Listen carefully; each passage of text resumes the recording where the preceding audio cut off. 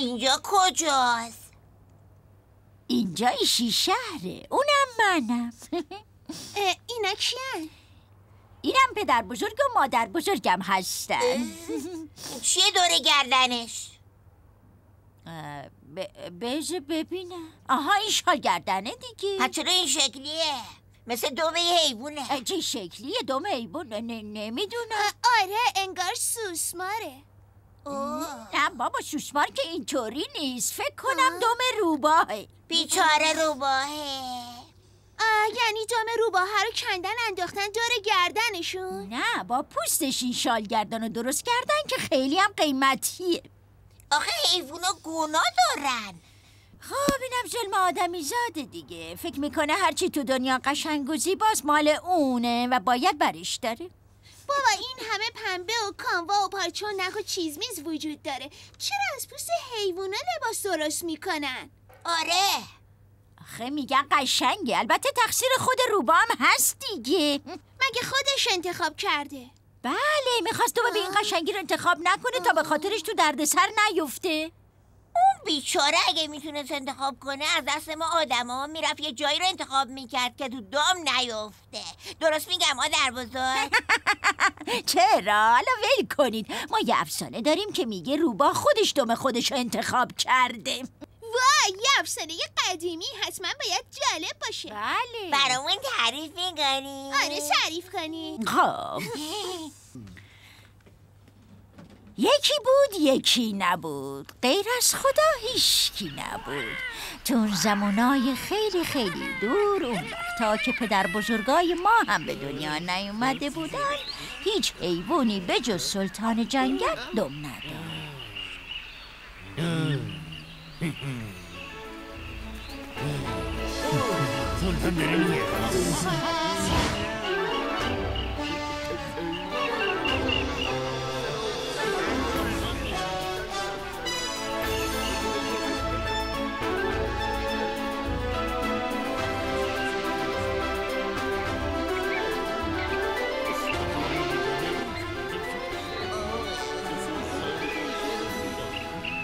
بله خلاصه فقط شیر بود که تو جنگل صاحب دم بود و بقیه بی دم و دم بریده بودند و از اینکه اونا صاحب هیچ دم کوتاه و بلندی نیستن قصه میخوردن.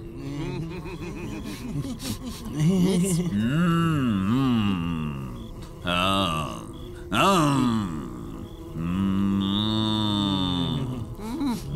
ای پشه های موزی بری راحتم بذارید. اگه یه دم داشتم به خدمتتون می‌رسیدم. حالا که دم نداری؟ پس خون خودتون کذیب نکن که به ما غذای سالم برسه.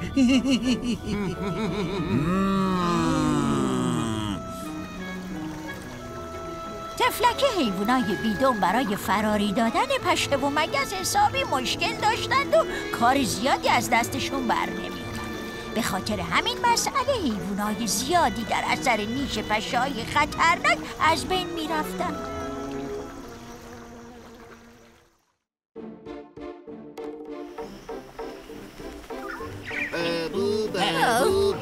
خدا بد نده خانوم شما را پشه ها نیش زدن نه عروسم نیشم زده وای خدا مرگم میدی. ای خدا چو کارو کن برو بریم. بابو بابو بابو بابو بابو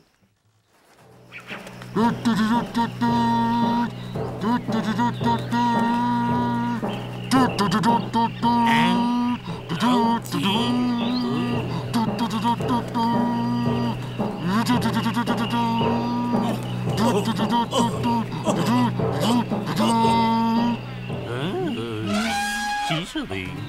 خبر خبر خبر دارم.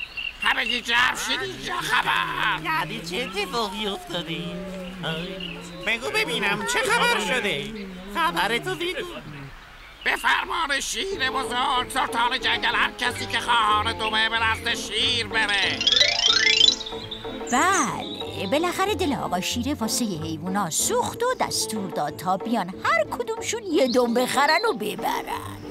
در میون حیوانایی که برای شنیدن صحبت کلاق رفته بودن جای آقا خرسه خوابالود خالی بود. من اون دم که از همه قشنگتره رو می‌خوام. چند سکه میشه؟ بگو ده سکه. میشه ده سکه. بفرمایید. ممنون. بیا اینم دومت ممنونم. تو چی می‌خوای؟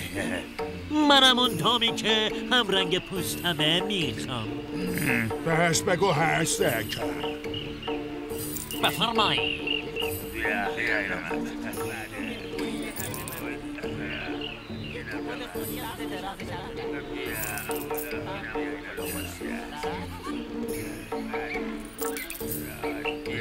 فقط و به این ترتیب بود که همه دما فروخته شد و شیرم پول پله خوبی جمع کرد اما آقا خرسه خوابالود وقتی اینو فهمید که دیگه خیلی دیر شده بود چی؟ آه دوم میفروشن اه.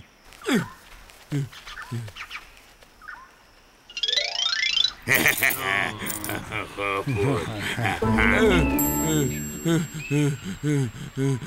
سلام شد من دوم می‌خواستم. که دام نریم. تعطیله. دیگه چیزی واسه فروش نمونده. دیر اومده بفرما.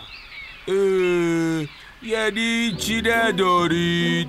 نه جون شما. آخریش همین بود که نصیب خودم شد. دیگه چیزی نمونده. بفرما خلوت کن. بفرما بفرما. آخه من آخه بیا عده برو دیگه. چشم.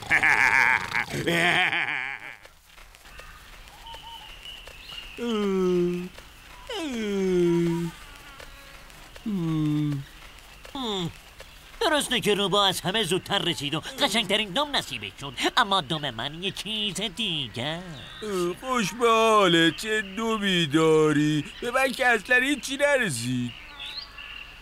خوشکله نه. بله ولی برای تو نه. یعنی چی؟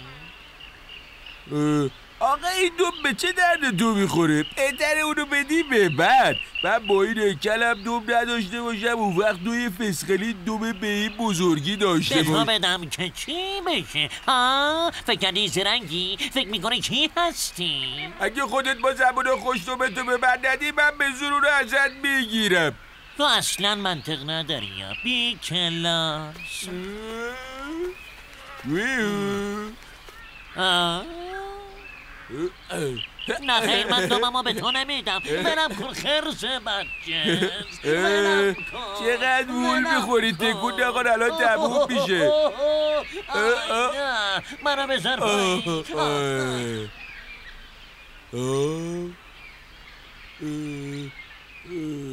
او از این چی بهتره؟ دیدید؟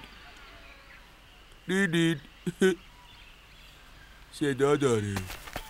بهتره بعد از این زیر زمین توی سوراخ زندگی کنم تا دیگه دست خرس به هم نرسه.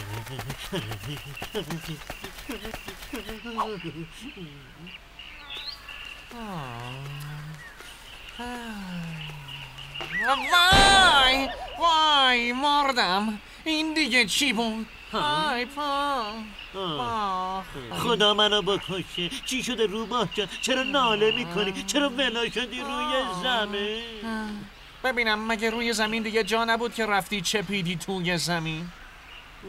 معذرت می‌خوام روباه جان ولی اگه تو هم به جای من بودی همین کارو می‌کردی من مجبور شدم. چرا؟ مگه چی شده؟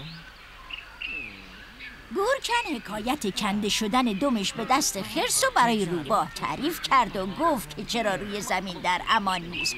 بعد از حکایت گورکن روباه فکر کرد و گفت حالا که خرس از دم تو خوشش اومده پس از دم من که از دم تو هم قشنگتره بیشتر خوشش میاد.